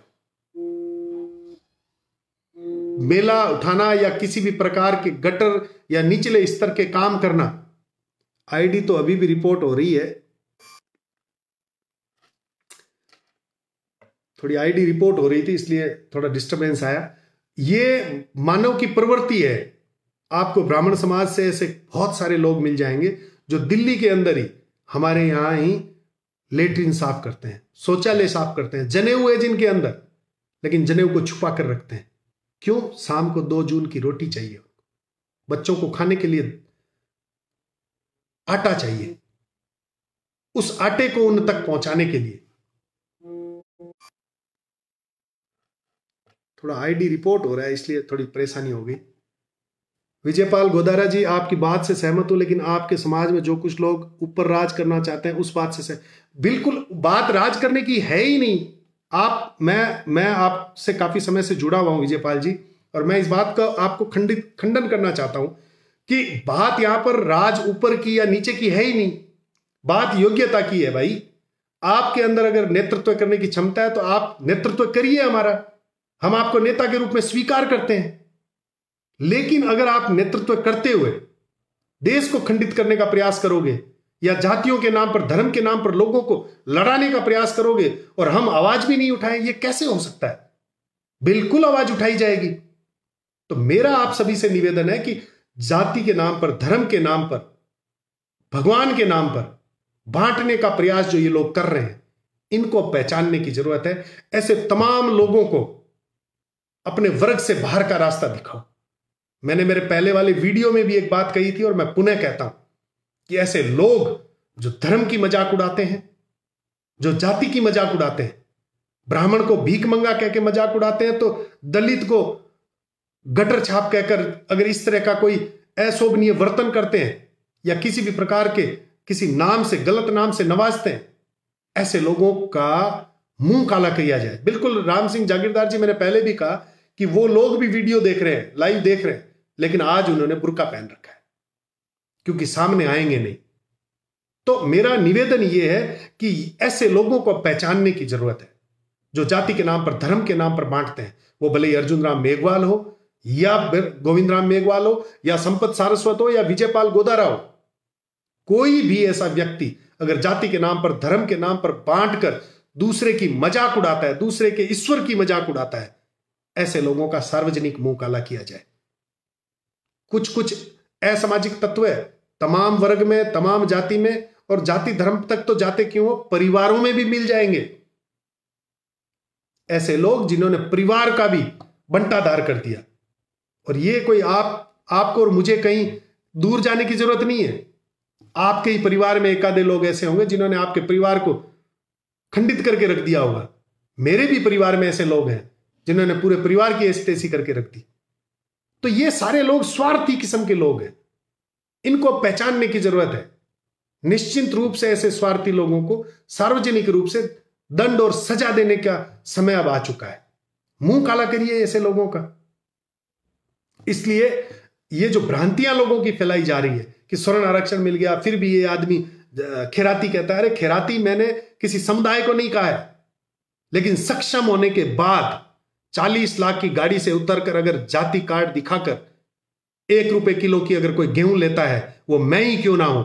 तो वो भिखारी है। यह मैं पुनः कह देना चाहता हूँ आपको। अगर मैं सक्षम हूँ और मैं कार्ड दिखाकर, जातिगत कार्ड दिखाकर अगर एक रुपए किलो की गेहूँ लेकर आ रहा हूँ तो मैं खिराती हूँ, भिखारी हूँ। ऐसे तमाम वो लोग जो सक्षम होने के बावजूद हमारे भाइयों का हक खा रहे हैं, ऐसे लोग खिराती ही हैं। ये बात मैं ऐसे लोगों को कह रहा हूँ, किसी समुदाय को नहीं कह रहा उसमें भले ही अर्जुन राम मेघवाल हो, या गोविंद राम मेघवाल हो, या तमाम वो लोग जो सक्षम होने के बाद भी इस तरह का दुष्प्रयास कर रहे हैं, ऐसे लोग निश्चित रूप से खैराती है। और ऐसे खैरातियों को अब जवाब देने का समय आ गया, जागरूक होने का समय आ गया कैसे कैसे षड्यंत्र शिक्षा के ऊपर आपके ऊपर किए जा रहे हैं बहुत ऊपर की बातें हैं, जिसके ऊपर जिनके ऊपर आज हम अगर बात करेंगे, आज हम बात करेंगे तो हो सकता है आज लगेगा कि बहुत सारा थोड़ा कुछ आईडी रिपोर्ट हो रहा है, इसलिए परेशानी हो रही थी। तो इस तरह की जो परेशानी, इस तरह के जो लोग हैं, आज अगर मैं कोई बात करूँगा तो लगेगा कि हमने बहुत सारा मिक्सअप कर दिया। तो आज मैंने इस बात को केवल जातिगत आरक्षण और ये जो खिरात और खिराती और इन सारी चीज़ों के ऊपर और जो वीडियो का, जो इतने दिन ये जो कुछ तथाकथित समाज सेवी और पूछ दबेल जोड़ा छाप, जो अवसरवादी जो नेता थे, ये दो दिन से पकड़ पकड़ जो कर रहे थे, उनको जवाब देने की ज़रूरत थी। तो मैं इस मेरे आज के लाइव के माध्यम से मैं कह देना चाहता हूँ कि बिल्कुल मेरा किसी समुदाय को ठेस पहुँचाने का बिल्कुल भी मकसद नहीं था और मैंने मेरे वीडियो में कहीं भी ऐसा ज़िक्र भी नहीं किया है। और मैं पूर्णतया उन तमाम लोगों के हक के लिए प्रयासरत हूँ, जिनका हक ऐसे खैराती लोग, ऐसे अवसरवादी लोग जाति के नाम पर खा रहे हैं।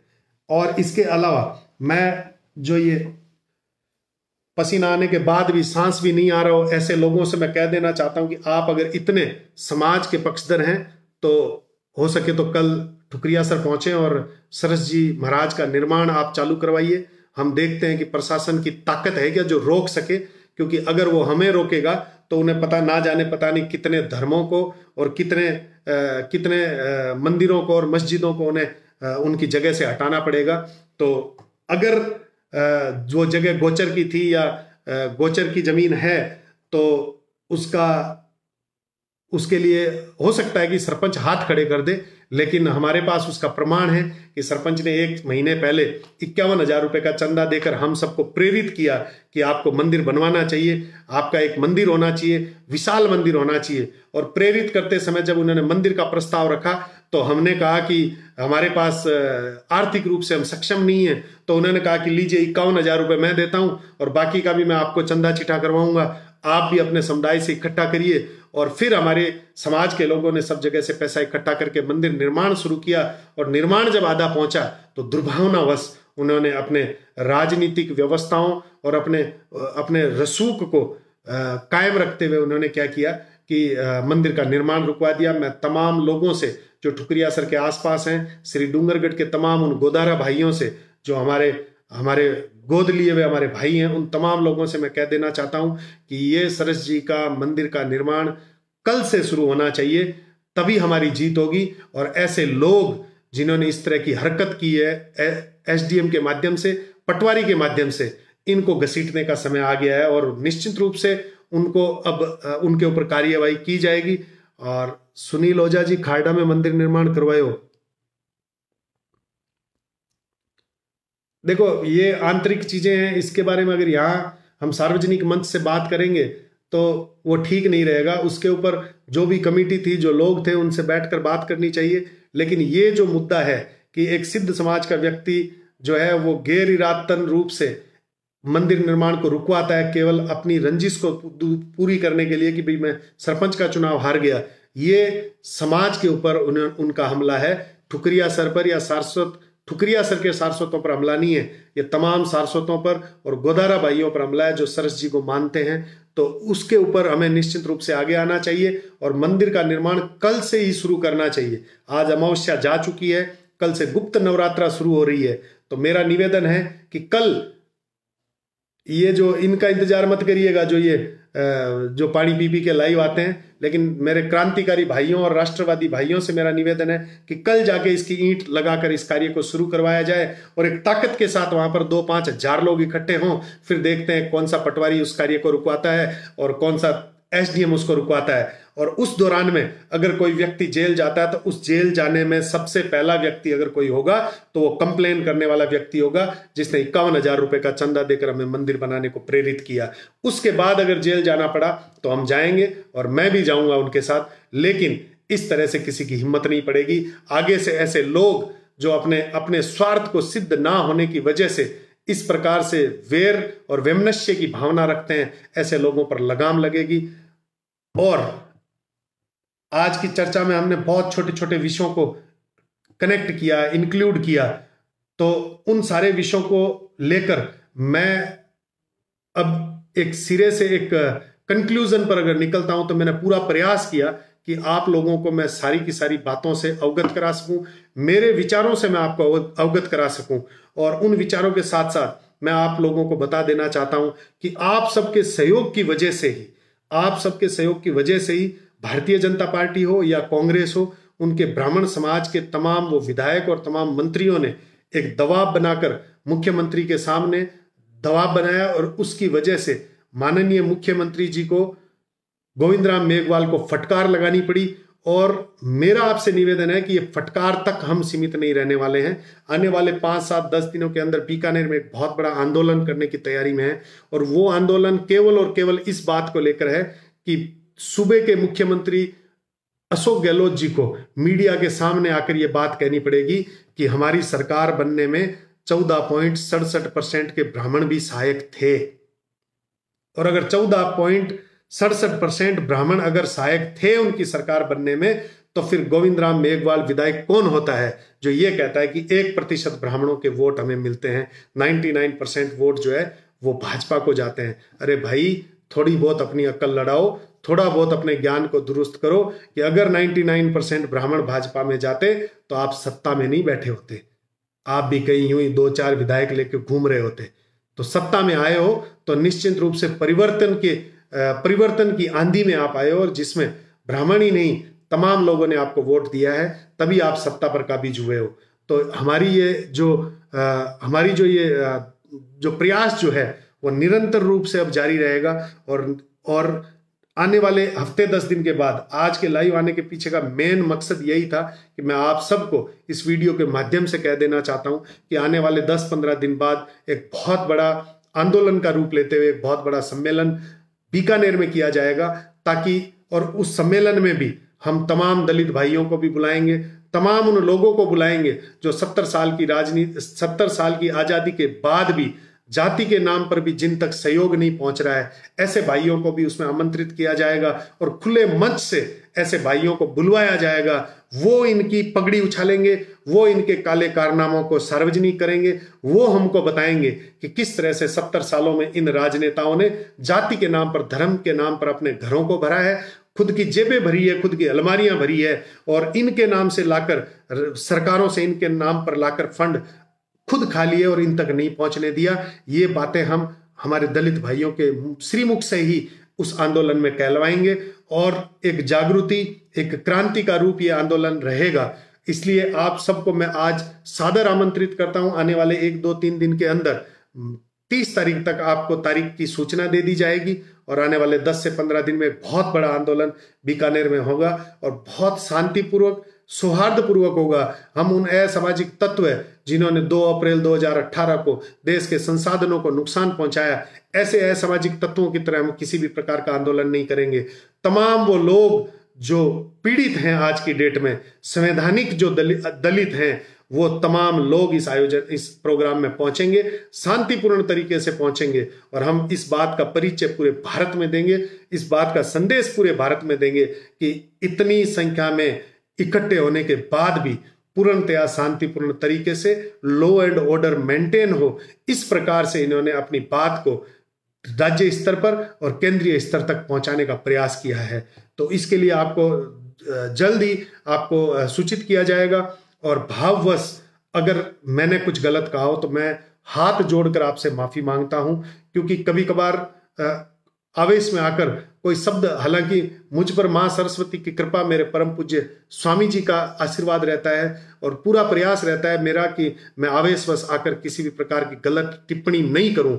फिर भी अगर इस इस बा, इस प्रकार की अगर मेरे मुँह से कोई भी बात निकलती है और ऐसे कोई भाव से आपकी भावना आहत होती है तो मैं हाथ जोड़कर आपसे माफ़ी माँगता हूँ। लेकिन हमारा ध्येय, मेरा ध्येय केवल इतना है कि सबके हक और अधिकार के लिए लड़े और किसी के साथ भी अन्याय नहीं हो।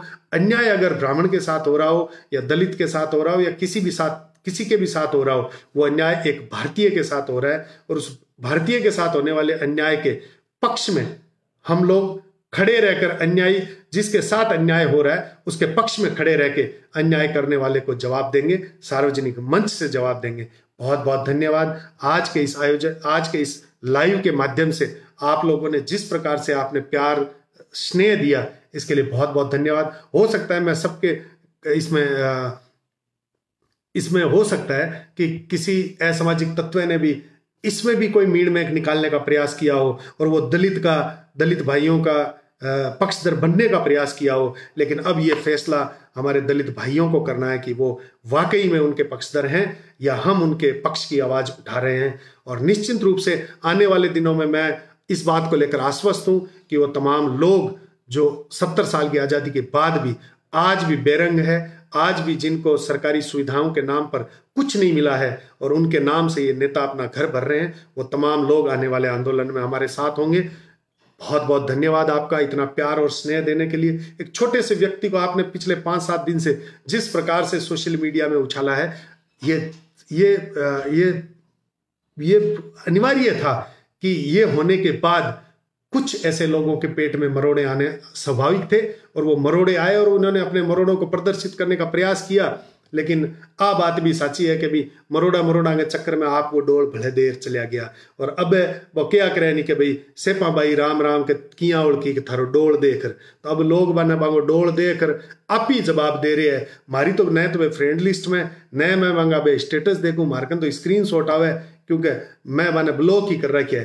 क्योंकि मारे गुरु जी को मन कहना है कि जितो ध्यान डाइवर्ट कर सी बे लोग बी कहानी जितो तू ध्यान दई, बितो तेरी तरकी रुक सी वास्ते, तू ई जगह बैरो बन जावा। और वो बैरो मेंढक हो भी बेरे मेंढक ने मेंढक दाई मैं, आँखों काना एकदम बैरो हो गए और मेरा प्रयास कर रही हूँ। मन आंगी आवाज़ भी कौन सुनी जाए?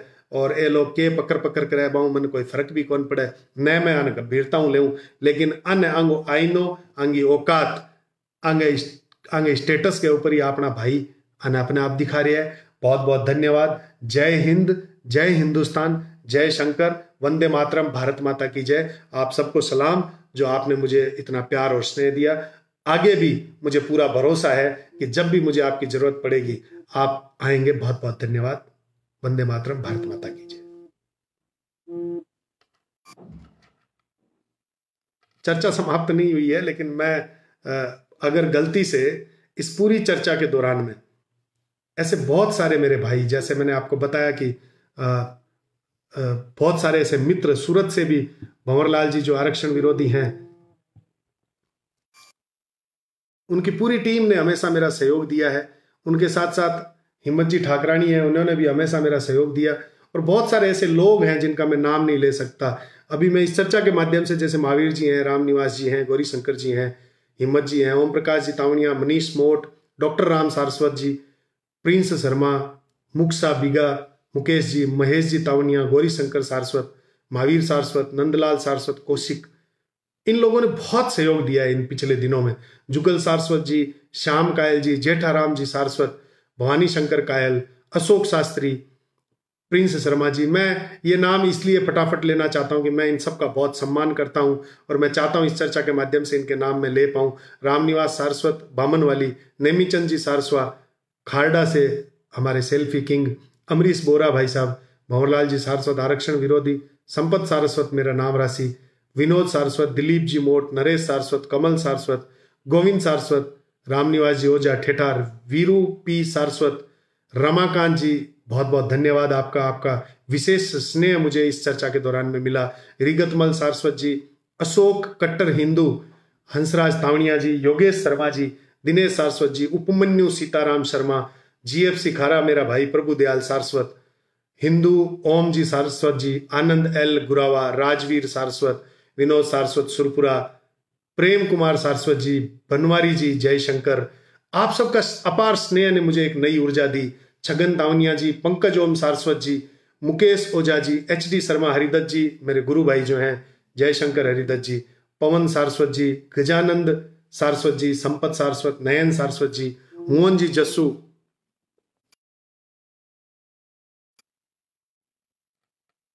अभी भी लोग चुके नहीं है कि, रिपोर्ट किए जा रहे हैं। तो मदन सारस्वत जी, पंडित मुकेश ओझा जी, देवराज शर्मा जी और जेठाराम जी, जिनका मैं नाम ले चुका हूँ। राकेश कुमार मोट, उद्रा सर, मनोज सी सारस्वत, आप सबका बहुत बहुत धन्यवाद। किसी का नाम अगर रह गया हो तो मैं सैवी ने माफ़ी चाहता हूँ। आपका भाई हूँ, मुझे माफ़ करिएगा। लेकिन आने वाले समय में किसी भी प्रकार की मुहिम में आप सब साथ देंगे और इसी तरह से प्यार और स्नेह बनाए रखेंगे। बहुत बहुत धन्यवाद। वंदे मातरम। भारत माता की जय। सलाम आपको।